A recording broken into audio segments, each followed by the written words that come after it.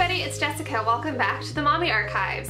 A few weeks ago, I filmed a video about surviving sleep regressions and my tips for getting through them. And in that video, I mentioned that Kennedy sleeps on a toddler floor bed. And I asked if you guys would like some more information on how we made the transition to a floor bed. And several of you said yes, you were interested in learning more about that. So today, I am sitting before you in front of a different bed that is not a floor bed to talk to you about uh, Kennedy's transition to a toddler floor bed. So first off, I want to give just a little synopsis of Kennedy's sleep history to provide some context for the reasons why we thought a floor bed would be appropriate for her to try out.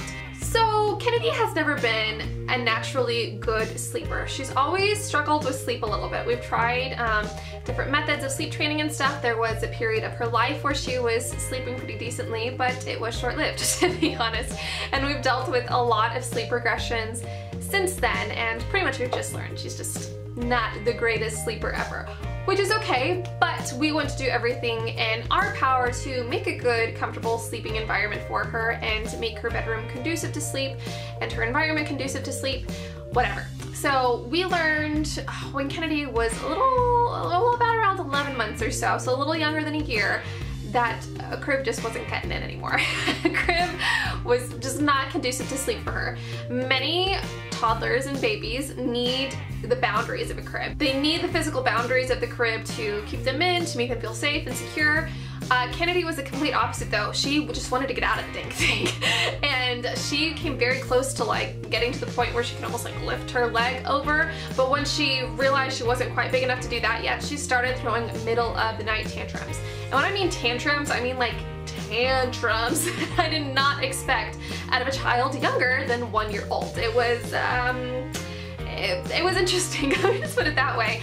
Uh, she would bang her head against the crib, she would stand up and make herself like free fall backwards to the back of the cribs. She would bang on the crib, she would try desperately to get out. She was absolutely inconsolable. We tried to like get down on her level, pat her through the bars, whatever, speak to her softly, -uh did not cut it. She wanted out and she made it very clear that she wanted out. She hated the crib so much and so it really put us in a pickle because we couldn't let her keep throwing these tantrums and throwing her against the side of the crib. On the one hand I was like well we keep going in there and taking her out then she's just gonna keep doing it but on the other hand I didn't want herself in there hurting herself because it's one thing to uh, be throwing a tantrum but it's another thing when you're like throwing yourself on the side of the crib because you hate it so much and you just want to get out of the dang thing and you're literally causing harm to yourself. I mean, she was a baby. We didn't know uh, exactly how to solve this predicament, and so I just really gave it some thought. And I had kind of always liked the idea of a floor bed when it was time to get out of her crib. I just didn't think we'd be making the transition out of her crib so soon. But nonetheless, uh, we found ourselves in this predicament where this was happening night after night after night after night.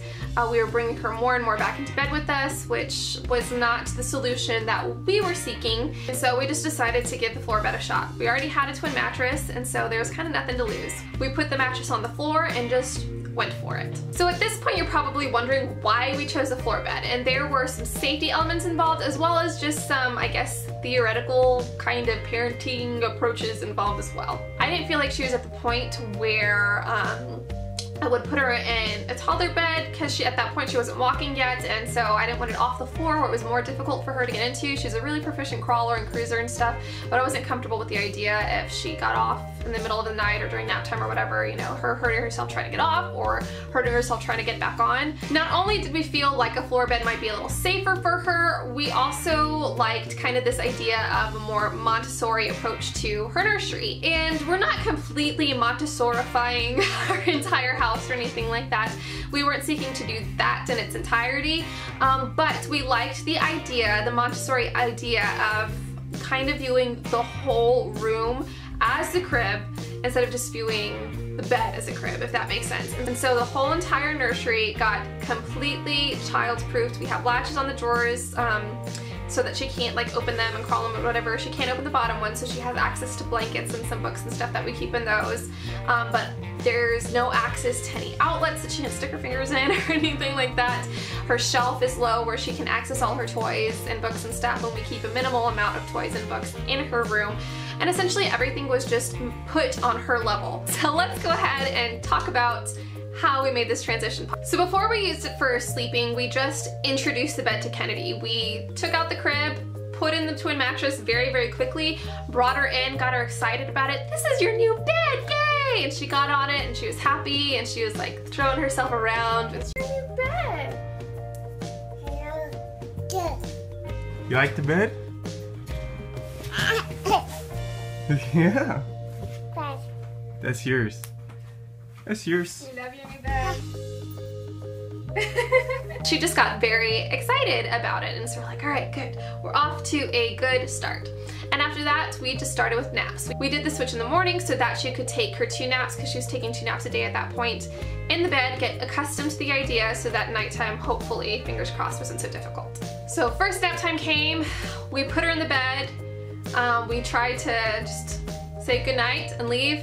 Right out of the bed she went to the door, knocking on it, calling for us, all that good stuff. And we just had to be pretty consistent with it. Um, we would go back in the room, put her down, pat her back, say, it's not nighttime, this is our new bed, this is where we sleep now, whatever. Um, and of course, there was a little bit of resistance, like there is with any kind of change, but there wasn't the tantrums that we had dealt with before with her like throwing herself on the sides of the crib because uh, she was able to get out. So even though she didn't necessarily want to be in bed at that point, she wasn't hurting herself trying to get out of it or getting frustrated when she couldn't get out of it. So she would just go to the door, knock, call for us, whatever. So with the first nap, she actually ended up pouting herself to sleep by the door essentially. she, uh, we didn't let it get out of hand or anything like that, but we did just try to keep encouraging her, let her know it was nap time, we needed to be in our bed, and I didn't quite get it. So second nap, same situation, except this time it was much more brief. She didn't cry as much or throw as much of a fit when we tried to put her down. And I can't remember honestly if she fell asleep in bed or by the door, but, but overall the process of getting to sleep was much shorter than the first time. She didn't put up as much of a fuss. Fast forward to nighttime, it's bedtime now, we put her in the bed, she stayed in the bed. Wonderful news, right? So it didn't take her that long to realize, oh, this is a good place to sleep now. it's more comfortable than the floor is. There's more room in my crib. I'm not being surrounded by these bars that I don't like. This is a safe place. This is where I'm meant to sleep. And so she latched onto that concept pretty quickly. Since then, really, most of our regressions that we dealt with have not been getting Kennedy to sleep. It's been getting Kennedy to stay asleep. And so she loves her bed now. She doesn't mind going in it. Knock on wood, because you know, I'm saying that out loud, so that means we're probably gonna deal with issues soon here. But uh, really though, truthfully though, uh, getting her into her bed at nighttime or for bedtime or nap times or whatever is not the struggle it used to be because uh, she now enjoys her bed. So I think that about sums it up. If you have any more questions, just leave them in the comments and I'll reply to them there. Ultimately, Kennedy, I'm gonna be honest with you, is still not a fantastic sleeper, but this arrangement has much worked much better for us than the previous one with her crib. I felt like we made the right move at the right time. We had to make a choice regarding, you know, how we were gonna handle these nighttime tantrums, and ultimately, she definitely prefers this sleep arrangement to a crib. Guys, that is everything I have for you today. I hope this video was helpful or informative to you. Like I said, if you have any more questions, just feel free to ask me in the comments. If you enjoyed this video, I hope you'll give it a thumbs up. And if you're new to the Mommy Archives and like what you see, I would love if you click that subscribe button down below. I post new videos every single week and I love getting to know you guys. So thank you so much for watching and I will see you next time.